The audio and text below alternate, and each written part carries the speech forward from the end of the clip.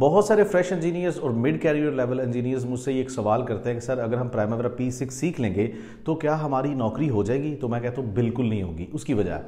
देखिए, नौकरी से पहले आपका एक अदद इंटरव्यू होगा और इस इंटरव्यू के अंदर सिर्फ़ प्राइमरा पी सिक्स के बारे में नहीं पूछा जाता, एक प्लानिंग इंजीनियर का प्रॉपर तरीके से इंटरव्यू होता है, जिसके लिए आपको प्रोजेक्ट मैनेजमेंट का पता होना चाहिए प्रोडक्ट डेवलपमेंट स्टेजेस का पता होना चाहिए और फिर इन दोनों चीज़ों को मिलाकर आपने डाटा प्रिपेयर करना है। और time management cost management resource management risk management procurement management stakeholder management quality management इन सारी चीज़ों को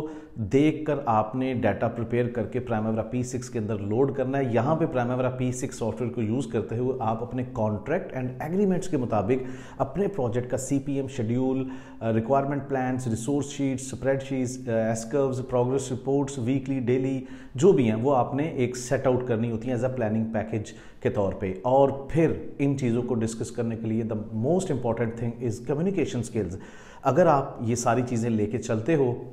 then you can get a very professional planning engineer job even your country or abroad like GCC countries. So, अगर आप इस तरीके से एक professional planning engineer के तौर पे प्राइमरा पी सिक्स को सीखकर बाकी चीज़ों के ऊपर भी ग्रिप हासिल करना चाहते हैं तो मेरे आने वाले